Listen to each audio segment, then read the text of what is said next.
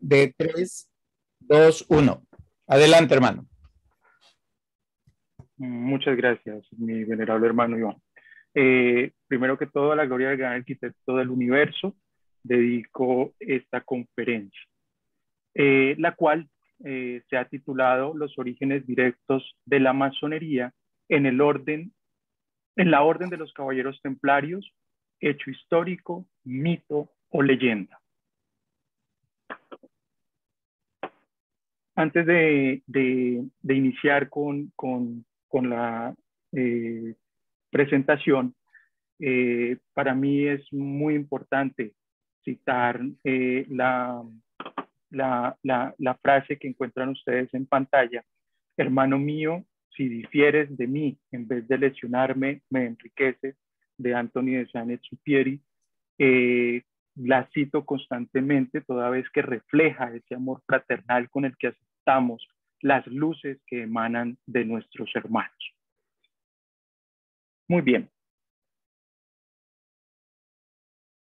Sea lo primero indicar mm, que soy un eterno aprendiz. De allí esta hermosa imagen que se este, está proyectando, con la cual me identifico totalmente, no por ser eh, el joven que está allí representado, sino porque está mostrando eh, esa eh, cualidad que tenemos que tener todos los hermanos masones y es nunca perder ese ímpetu y esa juventud para alcanzar siempre un nuevo conocimiento. Digamos que mm, me he identificado también con ello porque siempre busco cobrar un gran salario gracias a las enseñanzas de mis hermanos. También quiero mm, dejar manifestado previo a, la presentación que ninguna de las imágenes que van a ver ustedes en esta presentación pues es de mi autoría, han sido tomadas de la web para los fines académicos que aquí se quieren proyectar. También mm, debo mm, indicar que eh, no es mi intención el fijar una línea de pensamiento, sino que vengo a construirla con todos ustedes, siendo entonces menester la conceptualización de los siguientes elementos. Primero que todo, tenemos que entrar a mm, dilucidar unos conceptos importantes para conceptualizar el tema. Y es que mm, la Real Academia de la Lengua Española nos ha definido el origen como el principio, nacimiento, manantial, raíz y causa de algo o de donde algo proviene. Bajo esa conceptualización tenemos que, al abordar el presente trabajo, debemos dejar claro que un origen directo es, pues, la línea recta trazada entre dos puntos donde del primero emergió el segundo. Un mito, también eh, esta máxima autoridad en materia de la lengua española, nos lo ha definido como la narración maravillosa, situada fuera del tiempo histórico y protagonizada por personajes de carácter divino o heroico, historia ficticia o personaje literario o artístico que encarna algún aspecto universal de la condición humana. Persona o cosa rodeada de extraordinaria admiración y estima. Persona o cosa a la que se les atribuyen eh, cualidades o excelencias que no tienen. Leyenda. La leyenda es definida como la narración de sucesos fantásticos que se transmiten por tradición, relato basado en un hecho o personaje real deformado o magnificado por la fantasía o la admiración. Un hecho histórico, el hecho histórico eh, de aquí tomo como referencia mm, una cita del portal académico de la Universidad Nacional Autónoma de México que indica, si bien historia es todo lo que los hombres han realizado, pensado e incluso imaginado en un tiempo y espacio determinado, los historiadores utilizan el concepto de hecho histórico para distinguir el hecho o suceso en sí mismo de aquel que es relevante para la comprensión del pasado. Por eso mismo, el hecho suele definirse como una construcción o interpretación realizada por historiadores acerca de algún suceso particular protagonizado por seres humanos y ocurrido en un lugar y tiempo determinado. Ahora bien, es importante también indicar que la masonería como orden se funda en unos principios de los cuales hoy simplemente voy a reflejar los que están viendo allí en pantalla, como lo son la libertad, la igualdad y la fraternidad, el trabajo colectivo, el amor, el respeto, la constancia, la gratitud, la perseverancia, el libre advertido. Ojo, mucho, eh, prestar mucha atención a este principio masónico. Por supuesto, la solidaridad y que los trabajos en armonía que buscan del hombre bueno su mejoramiento. Indicado lo anterior, mm, quiero que nos introduzcamos eh, eh, o recordemos el momento en el que aún éramos profanos y fuimos introducidos en esta cámara de reflexiones, en las que encontramos por primera vez tres interrogantes que nos acompañarán por el resto de nuestro trasigar masónico. ¿De dónde venimos? ¿Dónde estamos? ¿Y para dónde vamos? Y que a pesar de que en este escenario su finalidad era distinta, hoy los traigo a colación porque en masonería los símbolos son el lenguaje que de acuerdo con la perspectiva nos muestran un mar de conocimiento. Hoy tocaremos el primer de los interrogantes, de dónde venimos. Y es en este instante en el que planteo una hipótesis, una hipótesis consistente en que no hay evidencia inmediata que demuestre el origen directo de la masonería en la cosmogonía templar. Es decir, no hay fuentes primarias que conduzcan a inferir un hilo conductor inequívoco entre la orden templaria y la masonería. Sumergiéndonos en el contexto del temario abordado, desde las perspectivas de las definiciones que he venido mencionando, parte indicando que la investigación realizada para la construcción de este trazado he encontrado primeramente que los templarios no son un origen directo de la masonería. Si bien es cierto, confluyen en un periodo del medioevo, la masonería antecede a la orden templaria y distan tan profundamente que se ubican en escenarios totalmente diferentes y sus propósitos o fines son en esencia contrarios.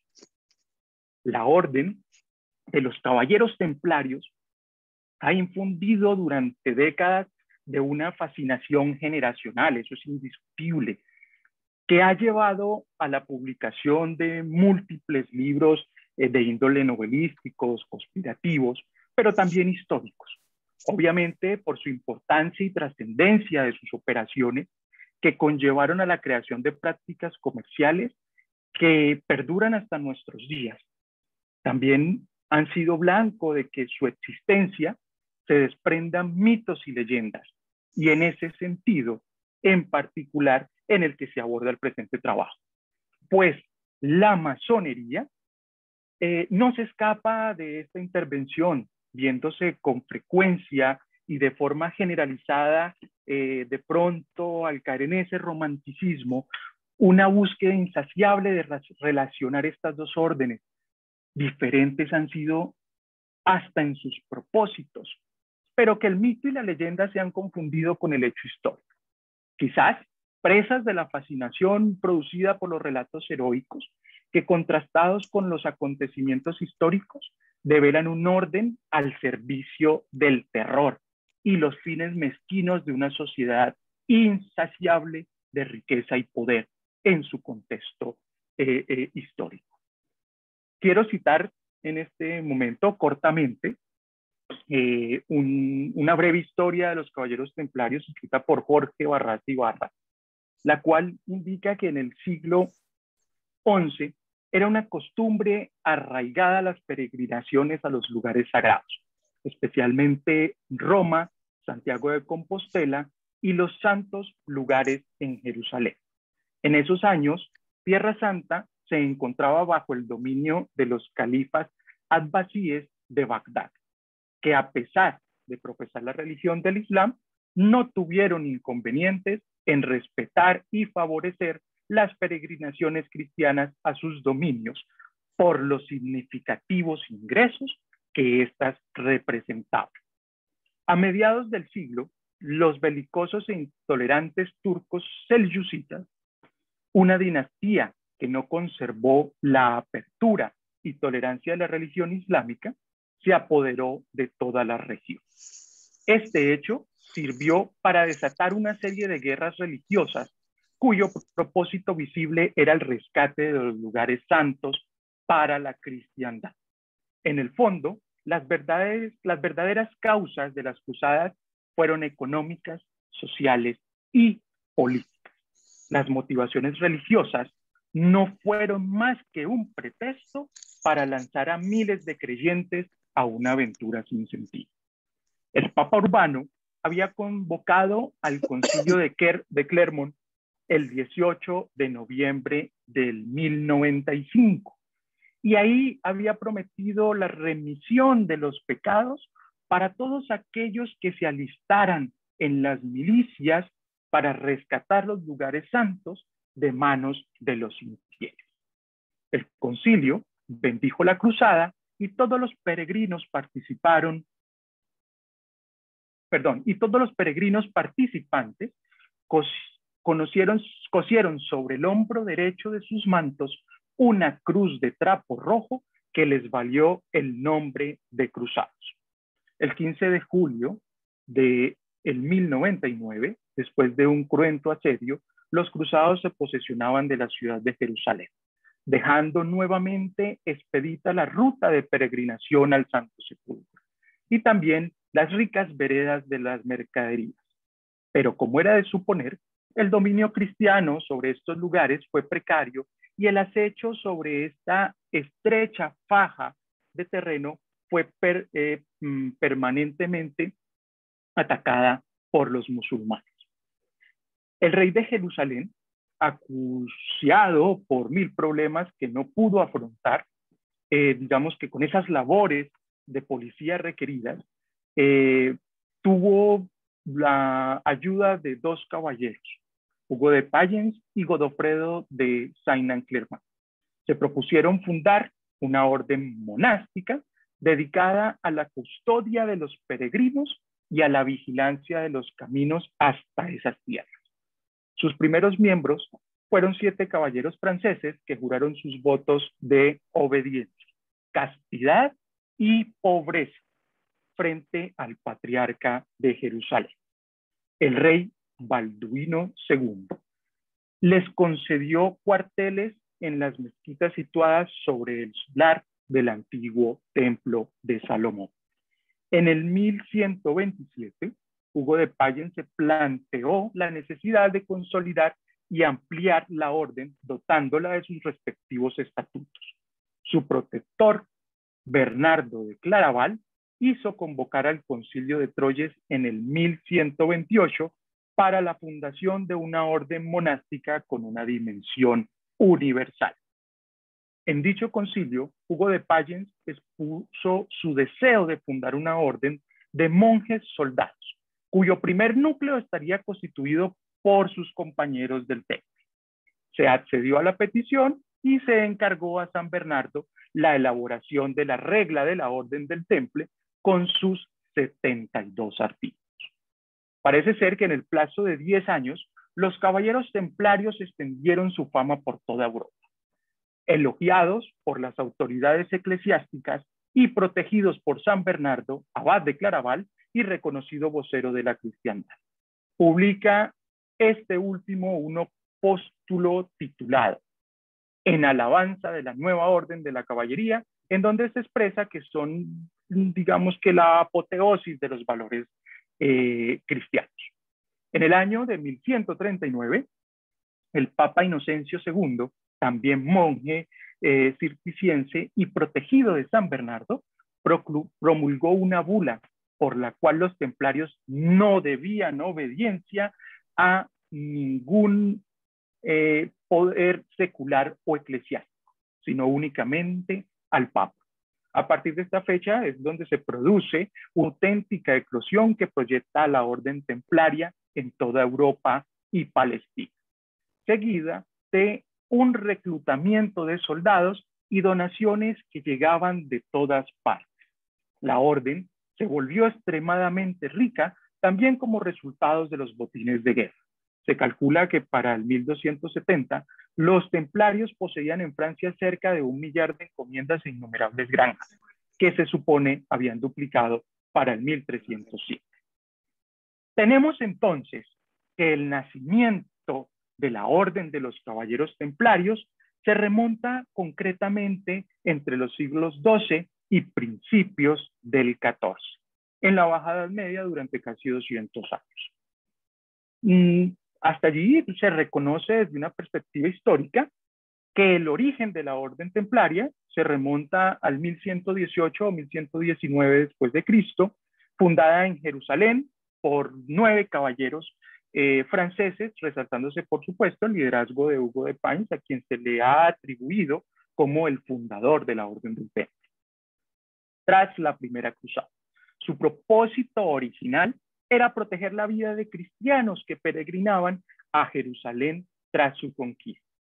La Orden del Temple, eh, digamos que eh, obtuvo el permiso, la legitimación para poder adquirir una competencia en su actuar, eh, e inicialmente del rey Balduino II de Jerusalén. Balduino aprobó la fundación de la orden y su instalación en el templo que ocupó el antiguo eh, eh, templo de Salomón. Efectivamente, el nombre de esta orden monástico-militar cristiana era la Orden de los Pobres Compañeros de Cristo y del Templo de Salomón.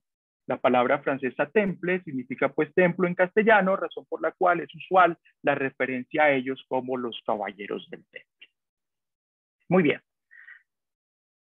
En cuanto a, sus propósitos, pues mm, ya comenzamos a, dentro de la argumentación a, a entrever cuáles eran en realidad esos propósitos soterrados que habían allí.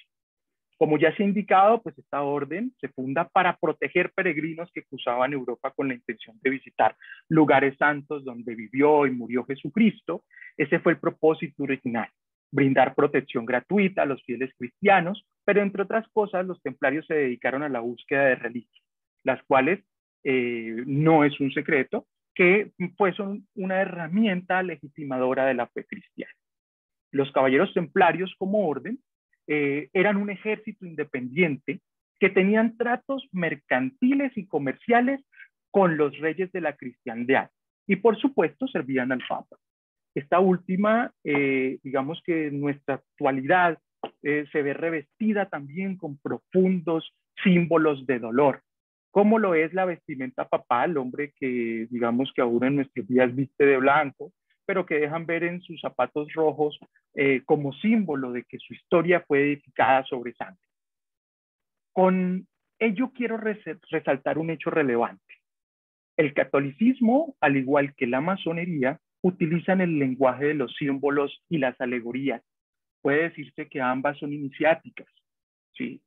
Pero mm, lo cual indica, no indica, perdón, lo cual no indica que por el compartir similitudes puedan tener un origen análogo. Simplemente quiero hacer esa aseveración, resaltar esa situación como un hecho relevante en esta argumentación.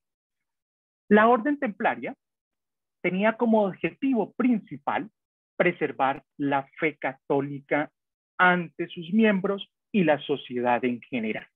Su finalidad soterrada, el reabastecer las arcas del papado y los monarcas saqueando Tierra Santa.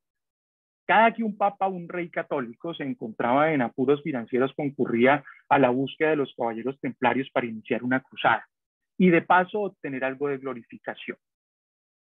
con lo cual mm, los templarios fueron ganando un importante espacio en el contexto del manejo del poder europeo. A lo largo de su existencia construyeron fuertes que les sirvieron básicamente con dos propósitos. Un lugar para defenderse, resguardarse e instruir en el arte de la guerra a sus miembros. Y por otro lado, una guarnición que permitía la guarda de sus tesoros.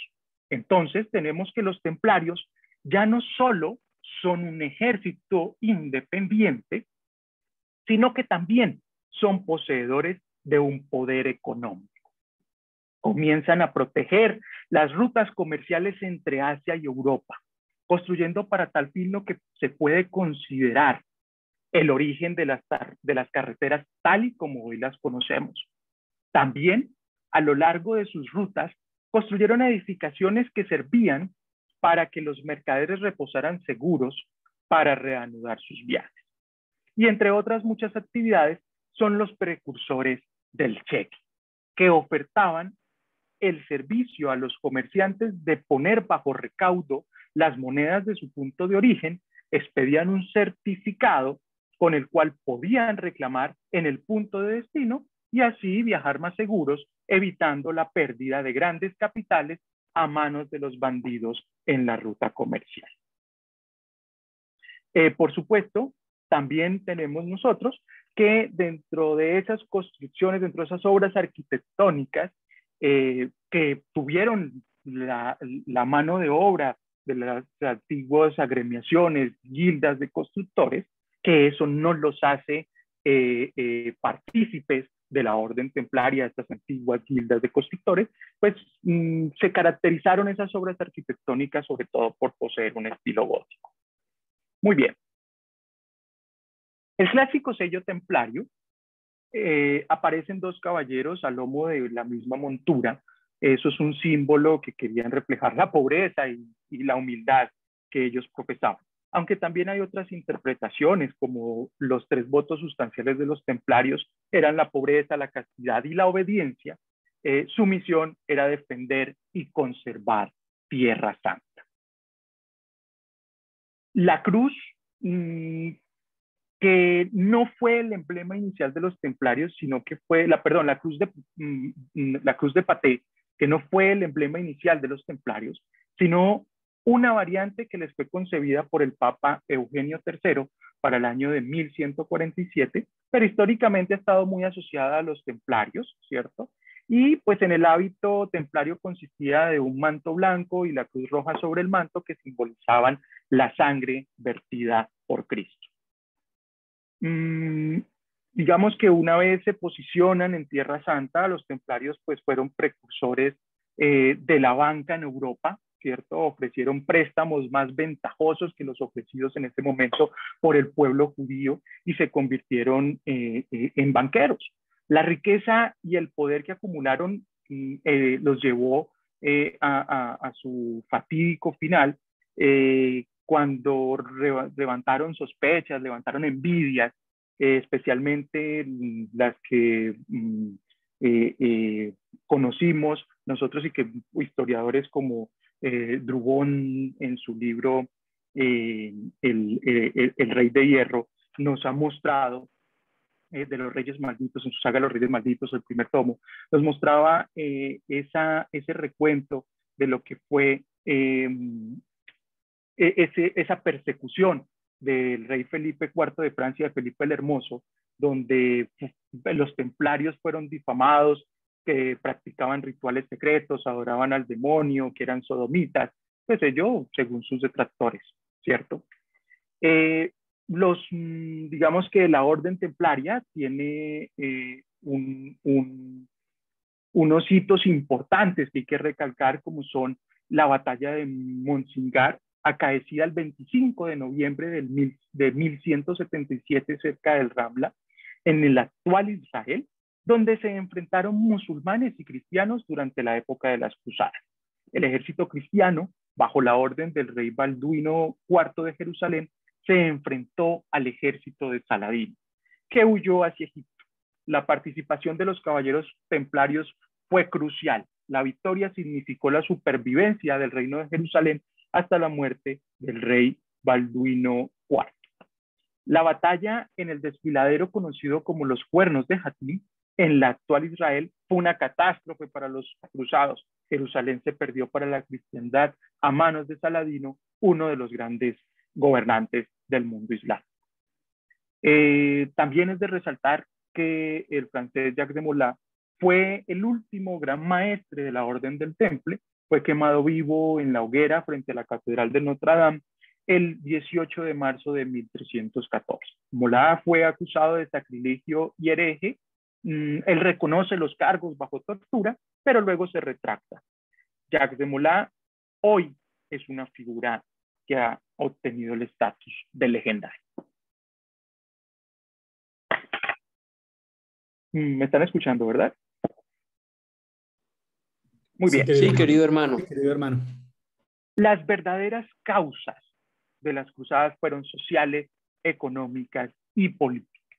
Los motivos religiosos no fueron más que pretextos para lanzar a miles de creyentes a una aventura sin sentido.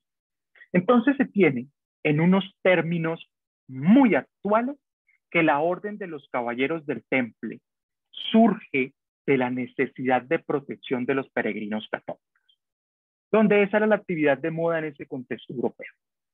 Se va confesionando una empresa paramilitar que a medida de su rápido crecimiento y acogida va ampliando su portafolio de servicios, constituyéndose una empresa prestadora de servicios de seguridad, financieros, de construcción e incluso diplomáticos, con un nicho de mercado muy definido, pues contaron con la libertad de escogencia de sus clientes.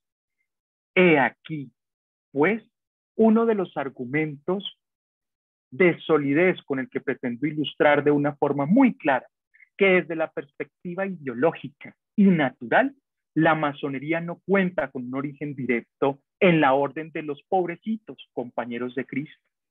Pues bien sabemos que los fines perseguidos por la masonería siempre han sido de carácter humanístico, filantrópico, al servicio de las luchas libertarias, adoleciendo de perseguir fines económicos y mucho menos de valerse del sufrimiento, de la aniquilación y el adoctrinamiento de los pueblos.